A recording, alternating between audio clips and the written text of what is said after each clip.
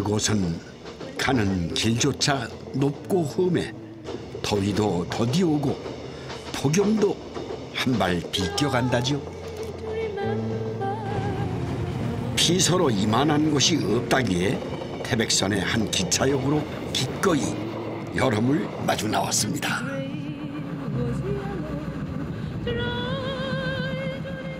네, 여기가요. 현재 해발 855m. 아마 우리나라 역 중에서 가장 높은 역, 바람도 구름도 쉬어가는 바로 그 추전역입니다. 고도는 높고 기온은 낮은 이 하늘 아래 이 정거장에서 한여름 무더위를 날려줄 시원하고 맛있는 밥상으로 여정을 시작해 볼까 합니다. 백두대간 그늘 아래서 찾아낸 네 가지의 여름맛 그 더할 나위 없는 태백의 여름 이야기를 시작해 볼까 합니다.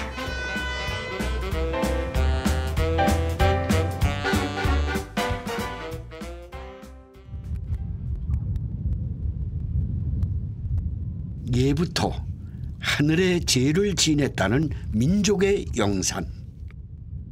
그 태백산 아래 펼쳐진 백두대간의 고원 도시가 바로 강원도 태백입니다.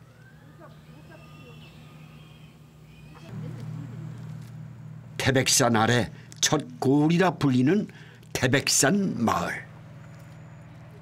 산 중턱에 터잡고 사는 터라 집 앞 길섭에만 나가도 사철 마르지 않는 약수를 만날 수 있는 곳이랍니다.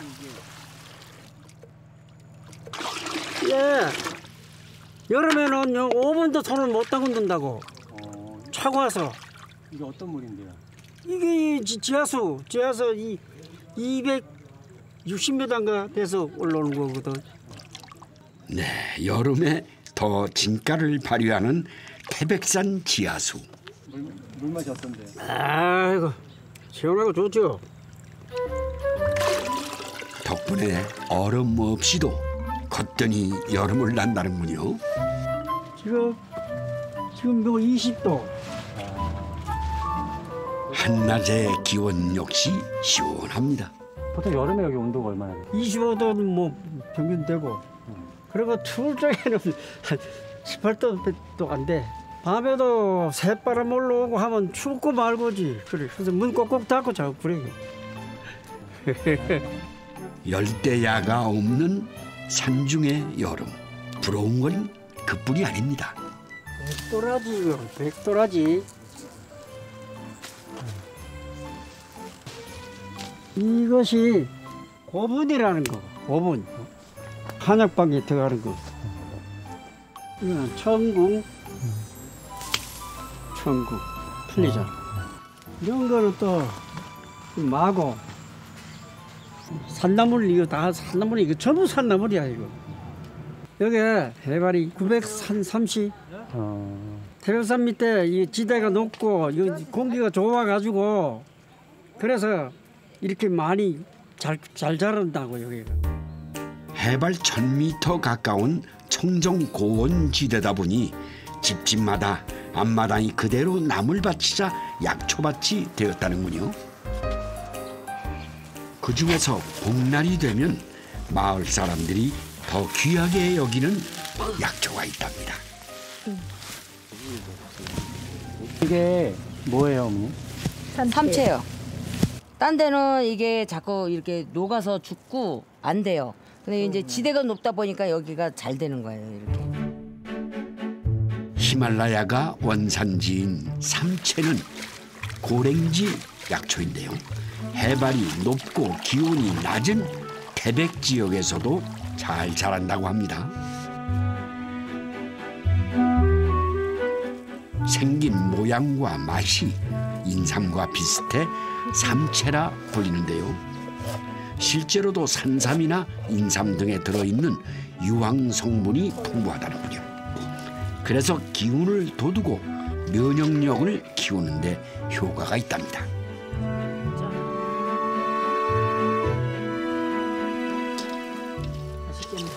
갓 수확한 삼채를 고추장 양념에 조물조물 무쳐내면 입맛 없는 여름날 밥 반찬으로 제격이라는군요. 쓰진 않고 산뜻하고 어이? 뭐 희한해 새콤달콤하고 너무 건강해져 싱싱해서 좋아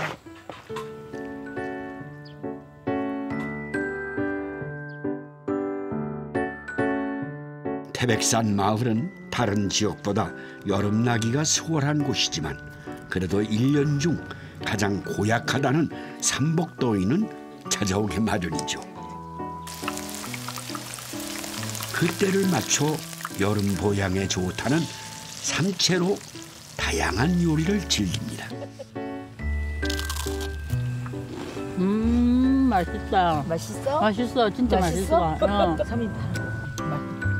특히 삼채 뿌리 튀김이 별미라는군요. 완전 인삼 같아 인삼 같고 인삼보다 더 나, 나 음. 진짜 맛있어 먹어봐야 안다니까요 한번 잡숴봐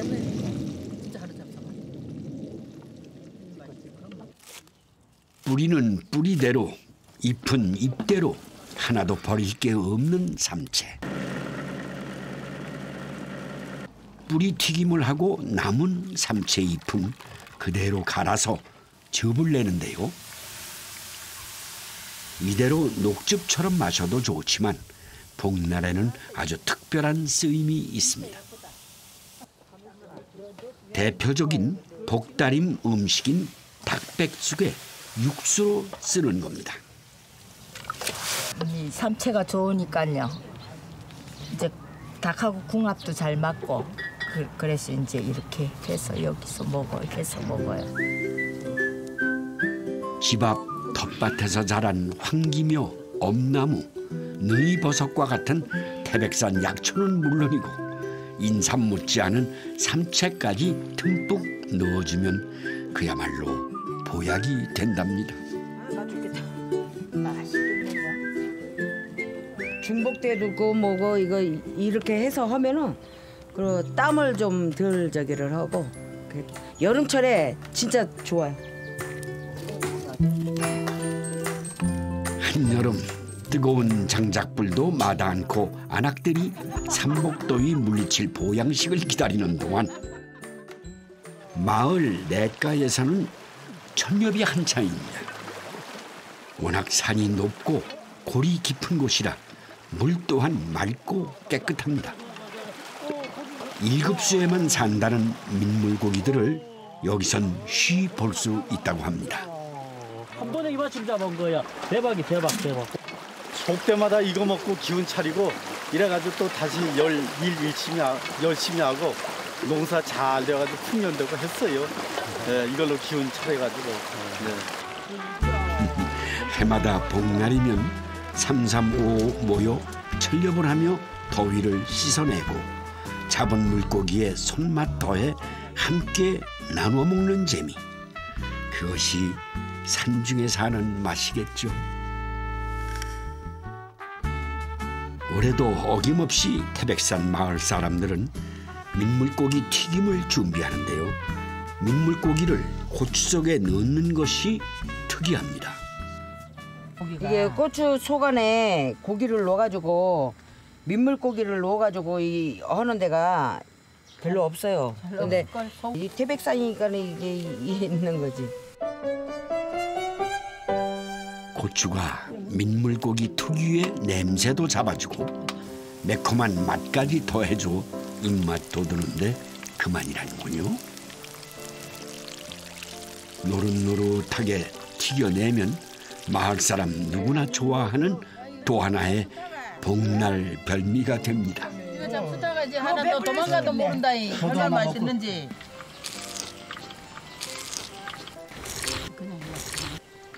할아버지가 할아버지가 고기 잡아다가 할머니 보러 맨날 해달라 그래.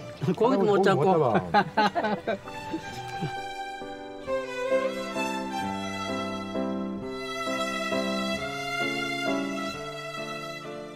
이런 보양식을 잡숴야 건강하시다고. 그러니까 머리도 머리도 대부분 좀 냄새 안 맡고도 머리가 좀 어쨌든 검어진 것 같아. 그 오늘 많이 잡수세요 오늘 많이 많이. 네, 많이 먹고 이거 졸여 먹고 힘내가지고 농사도 많이 많이 잘 지어. 할아버지 많이 잡숴. 아니가 다 쏟아졌어. 드디어 모두가 손꼽아 기다린 복날의 백미가 완성되었습니다. 높고 푸른 태백산에서 자라 고운의 맛과 영양을 그대로 품은 상체 백숙입니다. 단백질이 풍부한 닭고기에 태백산의 온갖 약초가 들어간 보약 한 그릇입니다.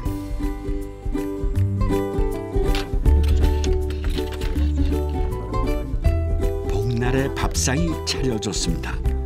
산이 내어준 까닭에 넉넉하고 함께하기에 고마운 여름 밥상입니다. 이렇게 태백에서 만난 첫 번째 맛에는 태백산만큼이나 높고 기운찬 태백의 힘이 담겨 있습니다.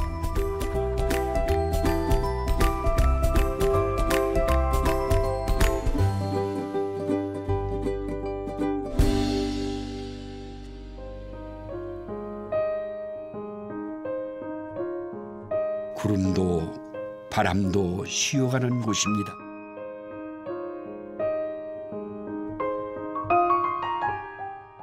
계절 또한 다르지 않아 더위를 안고 왔던 여름도 태백에선 잠시 숨을 고르지요. 이 첩첩산중은 평균 해발만도 700여 메다. 그 깊고 높은 숲이 만들어내는 물과 바람 그리고 찬 공기 덕에 여름 평균 기온이 19도 안팎이라네요. 어쩌면 태백의 발을 내딛는 순간 이미 시작됐는지도 모르겠습니다. 이 울창한 나무들이 그늘을 만들어주고요. 잎들이 또 바람에 흔들리면서 부채도 내주고 여기에 뭐 계곡 물소리까지 더해지니까 이게 지금이 한여름이 맞나 싶을 정도로 참 시원한 계곡입니다. 아이고 빌딩 숲의 도시에선 느낄 수 없는 고온의 청량함이 나그네를 반기네요. 이 계곡보다 더 시원한 비서 명당이 있다고 합니다. 네, 한때 금강으로 유명했던 조탄 마을입니다. 아이고, 지금은 이 동네 분들이 저보 피서지로 예. 사람들 누가 말소리가 들리시는데 아이고 안녕하십니까 반갑습니다 아이고 여기서 이 망중한이건 이거 비서를 여기, 여기서 하고 계시군요 예 반갑습니다 아, 앉으십시오 앉- 앉으십시오 반갑습니다 이곳은 30여 년 전 문을 닫은 금과인데요 여기가 그러니까 저 더위를 식히는 그런 피서짐이 호텔이고 이렇, 이렇구만요 그래서 여름에 좋아갖고 우리는 여름 피서 차서 오면 이렇게 수박 사들고 그래 말 어, 예. 벌써 찬 기운이 나와가지고 예. 여기 들어오는데 보니까 김 이 김 좀 봐요. 예. 이게 전부 냉, 냉기가 일로 나가는 거구만요. 예. 이 안이 계속 평균 5도 6도 어, 영 하는 안 떨어지고. 예 안 떨어지고 올라가지도 안 하고 계속 보송을 그렇게 나 네. 어유 벌써 추워져요. 네. 뭐 잠바? 저 이, 다 안에들 한번 입어야 됩니까? 예, 추워서 이거 아유 아유. 여기가 벌써 어, 싫어 싫어해요 막 그냥. 아유. 한여름인데도 다들 긴 팔을 입고 있는 이유가 있더군요. 갱도에서 불어오는 바람이 무척 서늘합니다.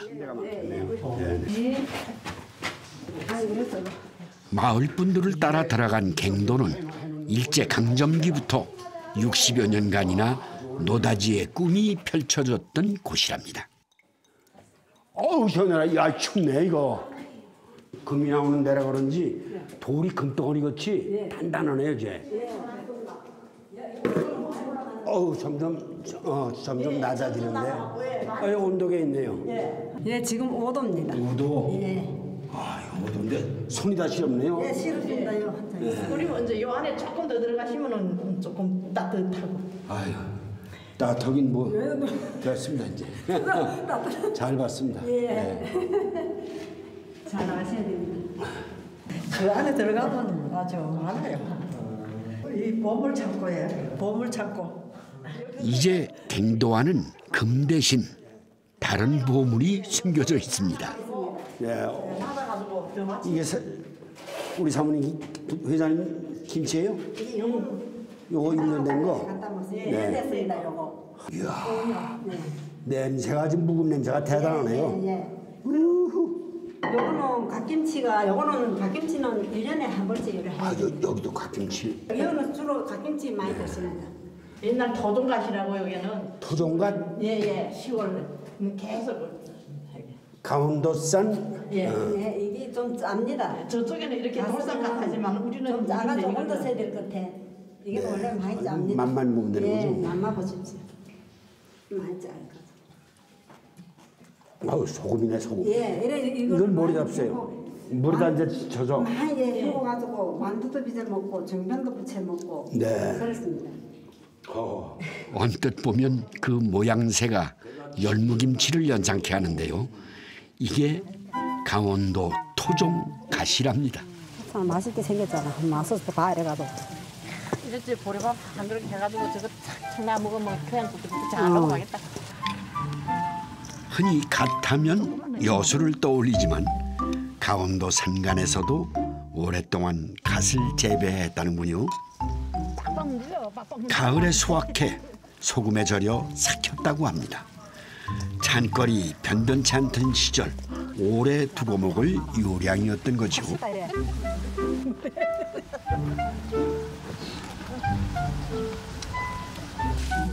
보리밥 생각나지? 아따 그 국수 메밀국수 해가지고 먹으면 맛있겠다. 맛있다. 아 이거 아주 맛 좋아 이거는. 어, 맛이다. 가을에 해갖고 겨울 내내 만들어 놔둬도 신맛이 안 나. 이 알카리성이 있어서 신맛이 안 나서 1년 12달 갈 수 있는 거는 이 갓김치야. 염장해 두고 때마다 꺼내 이 갓김치 무침을 해 먹었답니다. 김장때 담고 일 년 내내 먹지만 갓김치가 유독 만나는 계절은 더위에 지쳐 입맛을 잃은 이 여름날이라는군요. 갓김치와 당면, 으깬 두부에 가진 양념을 넣고 버무려 소를 만듭니다. 만두를 빚기 위해서인데요. 고기 대신 채소로만 소를 채워 채만두라고 불리는 갓김치 만두입니다. 그래 애 할머니 집에 가면 이제 애 할머니 이래 하나 그전에는 내 농구에다 그지요 이래 얹- 얹어놨다가 옴 한 개 주는 아주 그 별미가 없더라니까요.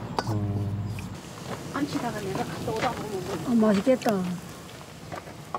워낙 손이 많이 가는 음식이라 명절이나 잔칫날 같은 특별한 날에나 먹을 수 있었던 별식이었다고 합니다. 삶아진 갓김치 만두는 그대로 먹지 않고 찬물에 넣어 식혀 먹는다고 하네요. 이게 국만두처럼 뜨, 뜨거운 걸 안 먹거든. 이 식혀가지고 요래 먹기 때문에 고기를 넣으면 안 돼. 고기를 안 넣는다고. 고기를 넣지 말아야지. 고기 넣으면 비린내 나서 맛이 없어. 살아. 맛있나? 고기가 아니라 채소를 넣은 덕에 깔끔한 맛을 즐길 수 있는 갓김치 만두. 또한 차게 식혀 먹으니 더운 여름날에도 안성맞춤입니다.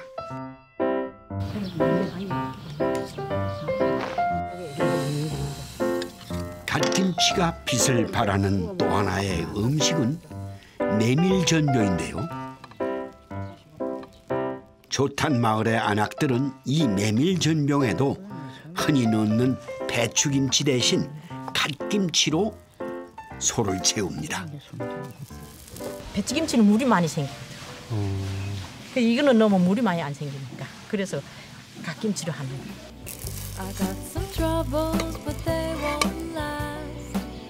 I 오래 두어도 변하지 않는 그 맛과 식감 덕분에 음식마다 갓김치가 빠지지 않습니다. 조탄 마을에도 복날이 찾아왔습니다. 홍두깨가 등장한 걸 보니까 국수를 만들 모양이시네요. 아이고 여덟 살 먹은 거 밥하라고 지켜놓고 밭으로 가니 늦잠 자다가 꿈속에서 밥하느라고 나를 쳐서 떠벌고 너는 해가 하나 중천 올라온 거야. 이야 큰일 났다 싶어가지고 삼복되는 농번기가 한창이라 음식 장만도 큰 일거리죠.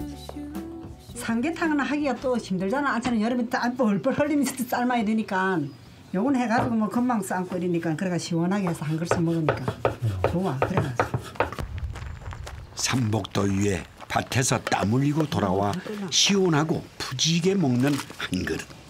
일손 바쁜 조탄 마을 농부들에겐 이 국수가 최고의 복달인 음식이랍니다. 삶은 면은 찬물에 바로 넣어 면발에 탄력을 더합니다. 이게 원래 국수가 이렇게 콩국수하고 틀리잖아요. 두껍고 국수가 모양이 없잖아. 그러니까 이게 먹다 코도 어떻게 막 콕콕 칠 수도 있어. 그래야 코동국수를 하지 이게. 차가운 장국을 곁들여 먹는 여름 국수. 콧등치기 국수의 활용 점정 역시 갓김치입니다. 오랜 세월 입맛과 기억 속에 저장된 최고의 음식이죠.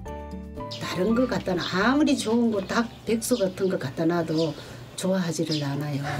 이 갓이 이제는 이제 입에 딱 이제 맞은 거야. 그러다 보니까 우리 조탕 같은 경우에는 어느 집이라도 가면은 갓김치가 없는 집이 없어요. 1년 12달. 그래서 좋아하는 거예요.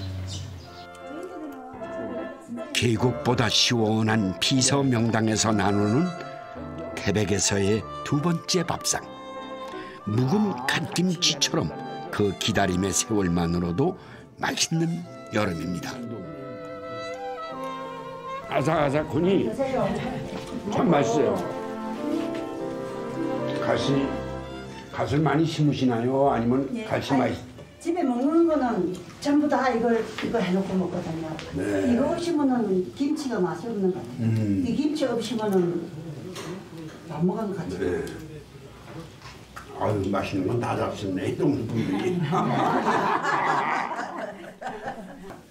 이렇게 좋은 참 여름 별장에서 저복밥상을 맞이하니까 참 억만물 줘도 살 수 없는 자연이 준 특별한 선물이다. 네, 이 자연을 지금 저는 여기서 호강을 하고 있는 겁니다. 여기 누가 아주 음식점을 하나 차려도 괜찮겠네.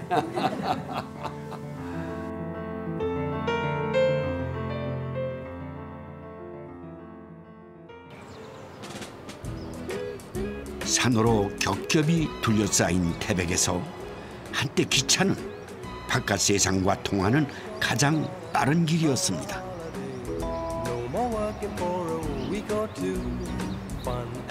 그 철길을 따라 반세기 전만 해도 철암역에는 수많은 사람들이 들고 났고 역 앞 철암장터는 문전성시를 이뤘다죠.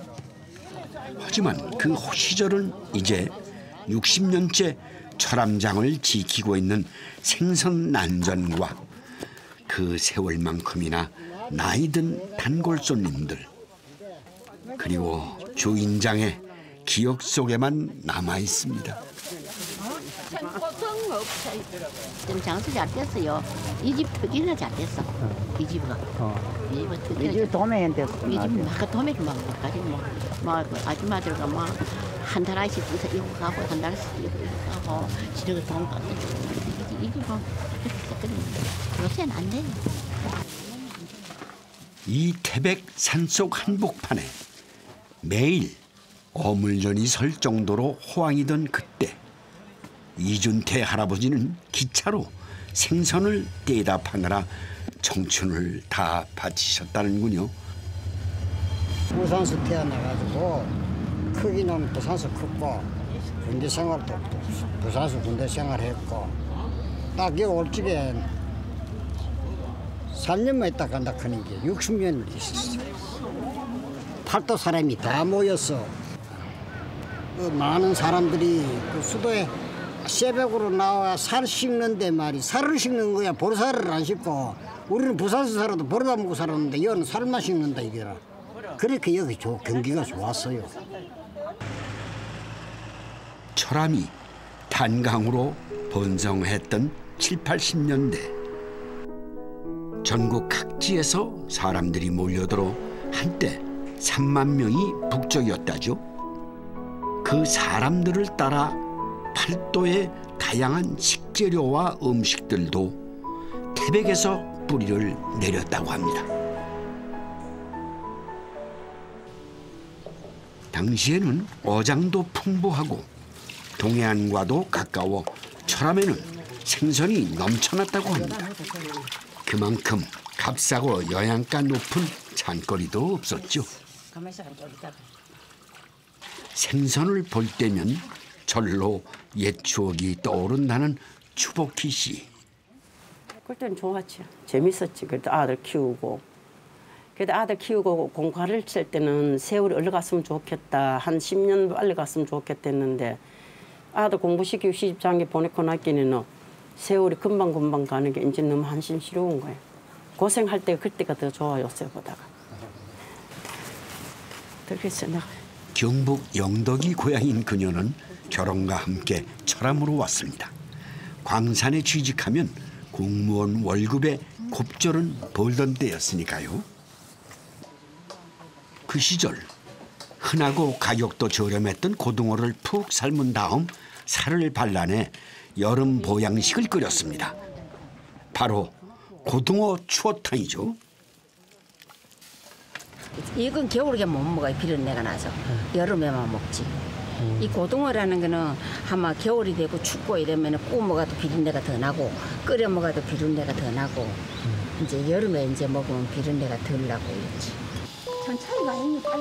주 재료가 미꾸라지에서 고등어로 바뀌었을 뿐 만드는 방법은 기존의 추어탕과 크게 다르지 않습니다.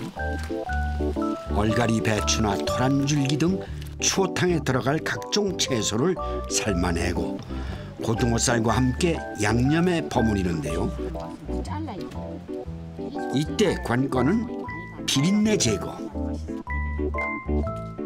등푸른 생선인 고등어는 다른 생선에 비해 비린내가 많이 나기 때문에 남다른 비법이 필요하죠.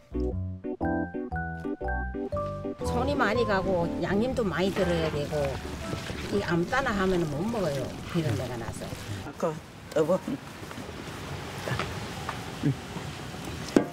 비싸고 구하기 힘든 미꾸라지 대신 고등어를 넣어 끓였지만 들인 맛과 정성만큼은 그 어떤 보양식 못지않습니다.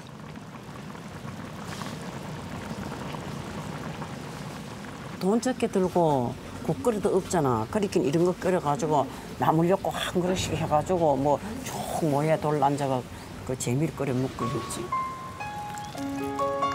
광산에서 땀 흘린 가족과 이웃들이 함께 나눈 비린 맛의 추억. 고등어 추어타입니다.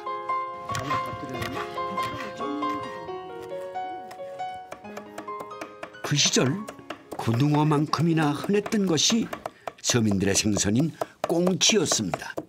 지금 또뭐 뭔 생각을 하지 않아. 빨리 술 많이 먹고 요 같은 생각하고 이제 스트레스 푸는 거 이래. 꽁치는 뼈째 잘게 다지는데요. 이렇게 다진 생선살에 비린내 제거를 위해 마늘과 생강가루 등 향신료를 듬뿍 넣습니다. 이때 밀가루를 넣고 버무려주면 냄새도 제거되고 생선살도 잘 뭉쳐집니다. 여럿이 모여가지고 뭐 이리 한데 속 끓여 놓고 이리 끓여가지고 막걸 때 먹고 그래 그래 이제 여럿이 먹는 음식이에요. 고등어 추어탕과 더불어 철암의 여름 보양식은 꽁치 옹심입니다. 단백질이 풍부하고 가격까지 저렴한 꽁치는 주로 구이나 조림으로 즐기는데요. 철암에서는 꽁치로 옹심이를 만들어 먹습니다. 먼저 각종 채소를 넣고 양념을 해 탕을 끓이고 생선살을 뭉쳐 모양을 만들어 넣습니다.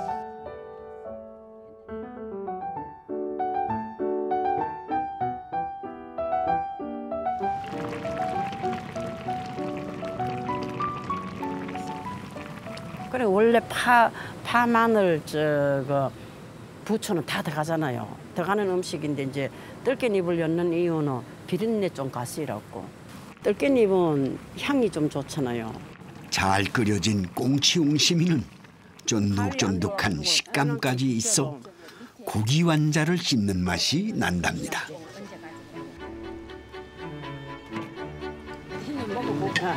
맛있어 먹어. 내가 자네 이끼들 안 준다. 근데 괜찮지? 어, 맛있어. 맛있어. 한 그릇 끄자. 고기 완자 부럽지 않은 쫀득한 여름 별식 꽁치 옹심입니다. 산으로 둘러싸인 태백 고원에서 맛보는 바다의 비린 맛. 또 다른 인기 생선은 가자미입니다. 말린 가자미를 노릇노릇하게 구워낸 다음 고추장과 물엿으로 양념해 맵고 달달하게 무쳐내는데요. 도시락 반찬으로 인기 있었던 가자미 무침입니다. 맛있는 냄새가 와가지고. 하나, 자, 검선아, 가재나 넘어가봐. 아이고, 예, 맛있는. 맛있는 냄새에 이끌려 왔다는 이웃 사촌. 가자미 무침 한 입에 그때 그 시절의 추억이 아련해집니다. 먼지를 많이 먹어가 목건형에 먼지 닦아내라고 회를 많이 해 먹고 돼지고기도 많이 먹고 이것도 많이 해 먹고 그랬어요 술을 먹으면서 아저씨들이 굴 속에 도시락 반찬 대가가고 그렇게 해서 이거를 많이 먹었어요. 밥이나 좀 먹고. 갯것들로 푸지게 장만한 철암의 바다밥상이 차려졌습니다. 모두가 고향 떠나와 뿌리를 내리고 자식들을 키우는 동안 힘겨운 여름을 든든하게 날 수 있게 도와준 고마운 음식들입니다. 저는 처음에 생선 먹을지도 몰랐어요. 바닷가 살았지만도 빈내가 이게 싫어갖고 만지지도 못- 못했는데 요새는 그리 싫어했는 생선이 이제는 이 생선이 참 좋아졌어요. 밥 맛, 이걸 먹으면 밥, 여기서 생기가 돋는 것 같아. 추억이 새록새록 살아나지 옛날 일, 고생했던 일들이. 예. 그 지금- 지금 뭐가 봐도 옛날 그 맛이 그대로 맛이 있죠.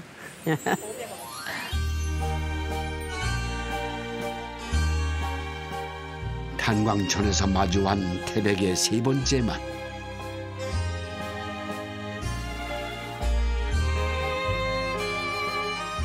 차를 타고 산속으로 온 낯선 비린내였습니다. 이제는 철암의 별미가 된 행복한 비린 맛이었습니다.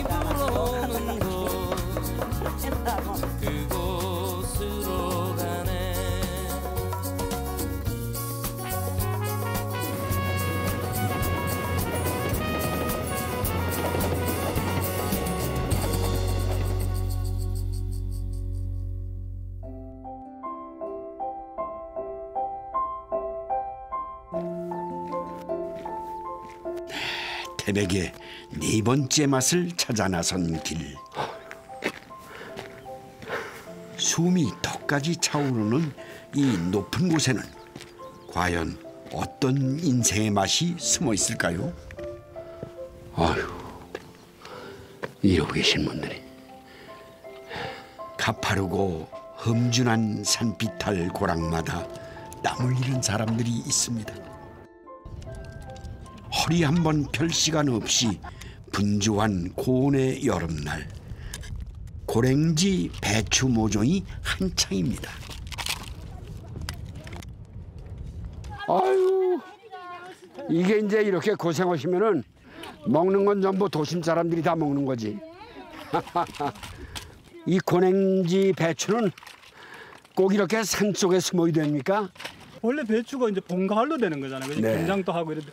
근데 여름 배추가 되는 이유가 여기 해발이 높고 서늘하기 때문에. 서늘하기 때문에. 네. 다른 지역에서는 안 되죠. 그래서 이렇게 시원할 수가 없죠 지금. 네. 저희들이 여기 있다 저기 낮은 지역에 가면 더워서 못 있어요 여름에. 그러겠어요. 여기는 해발이 한950 여기 여기 한 1000m 될 거예요. 아유, 아니, 이야, 굉장히 높네요. 신선이 사는 동네예요, 여기는. 신선이 지내, 정말. 아, 고맙습니다. 북한산보다 높은 곳에 밭이 있고, 마을이 있고, 사람들이 삽니다. 30여 년 전 댐 건설로 고향을 잃은 수몰민들이 새롭게 둥지를 튼 귀내미 마을. 비를 피하고 가난을 피해 산중으로 들어왔지만 식구들 먹고 살 길이 막막했다죠. 하는 수 없이 맨손으로 산을 일구어 개간을 했답니다.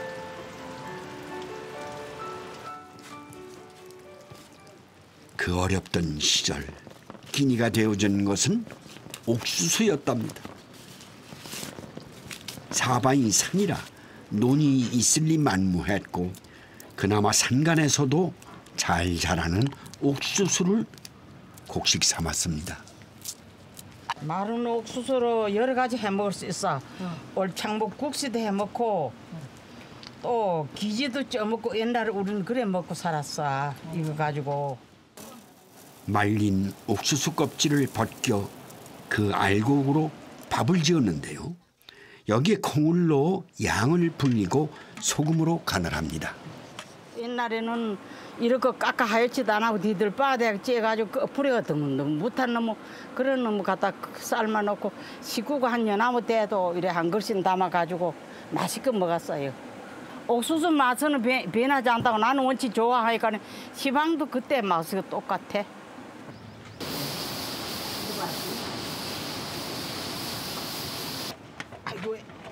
이렇게 완성된 것이 귀내미 사람들이 옥수수 곰이라 부르는 강냉이 밥입니다. 깔깔하긴 해도 섬유질이 많아 조금만 먹어도 배가 불렀으니 그 시절 이만한 효자가 없었답니다.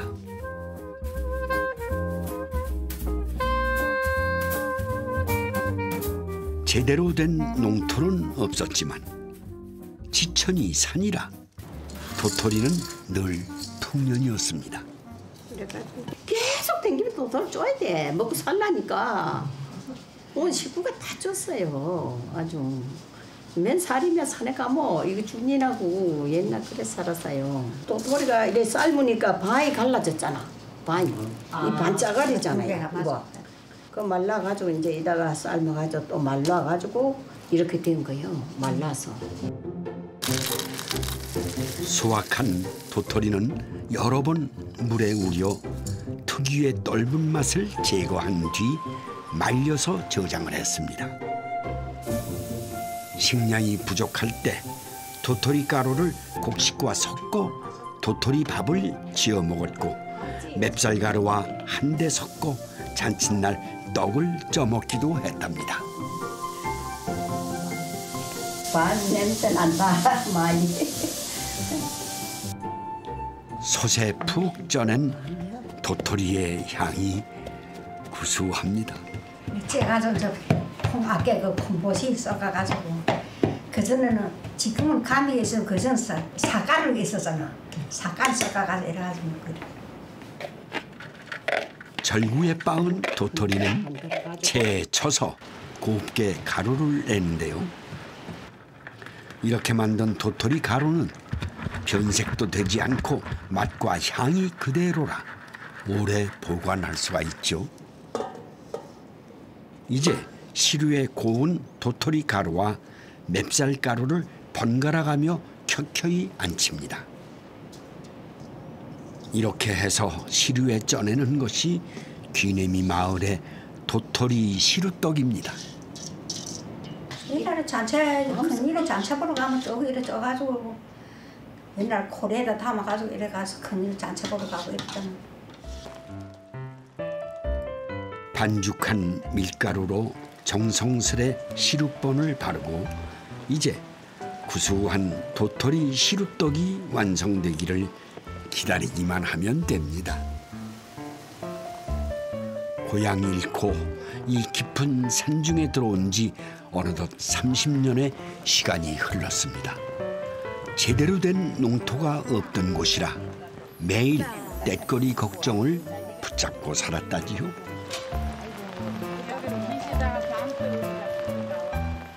그때 줄인 배 채워주고 허기진 마음을 달래주던 것이 이 도토리 시루떡이었습니다. 예전엔 가난이 서글퍼 눈물로 먹었던 떡이 지금은 더없이 반가운 별미 중에 별미가 되었습니다. 맛있어. 아주 맛있어. 응. 맛있다. 간 냄새 나는데. 또, 저 김충자가 이 방떡한데 도사래요. 그러니까 아주 잘했어. 오늘 단장 도사 근데 할머니 이 밤떡밖에 해먹을 줄 몰라요. 도토리 가루로 쏜 도토리 묵도 오늘은 푸짐하게 차려놓습니다. 투박하고 소박한 이 음식들 속에 귀내미 마을의 지난 세월이 담겨 있습니다.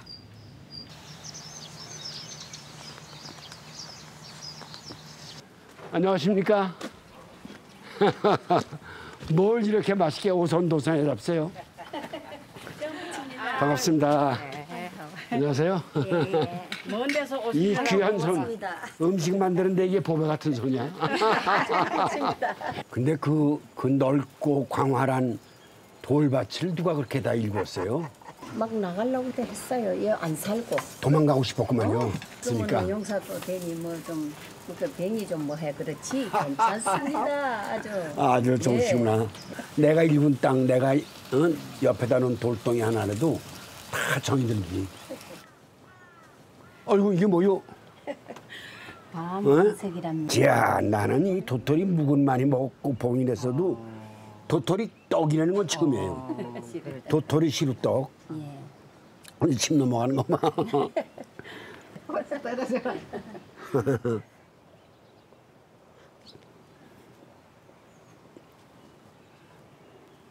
도토리 맛은 하나도 안 나. 예.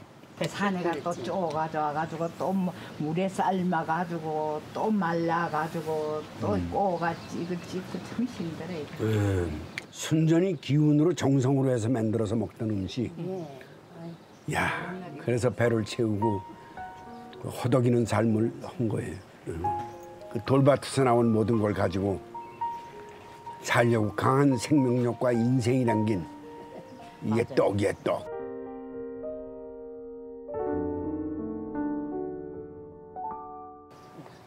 들어가죠. 조금 좀 들어가.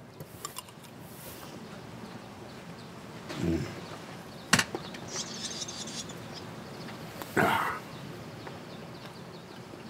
그 구수하고도 오돌오돌 씹히는 맛이 일품이구만. 자, 가져오신 분도 좀 드시고. 난 이거 처음 밥 싸우면서 처음 이렇게 우리 사모님들한테 잡수게 해드리는 거야.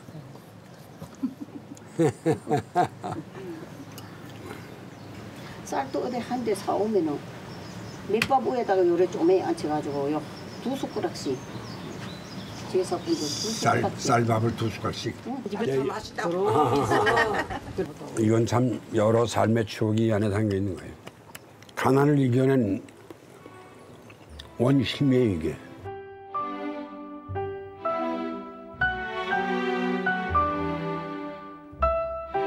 여름 태백에서 만난 마지막 밥상은 가난도 추억이 되고 힘이 되는 바위처럼 옹골찬 인생들의 응원가였습니다.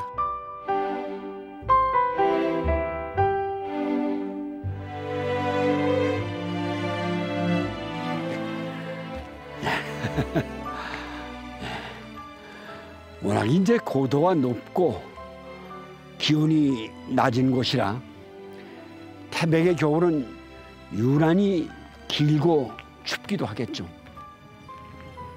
어쩌면 그 시간을 견뎌냈기에 이렇게 아름다운 시원한 여름을 선물로 받은 게 아닌가 싶습니다. 이 첩첩산중 피설자라고 갑니다. 네, 고맙습니다.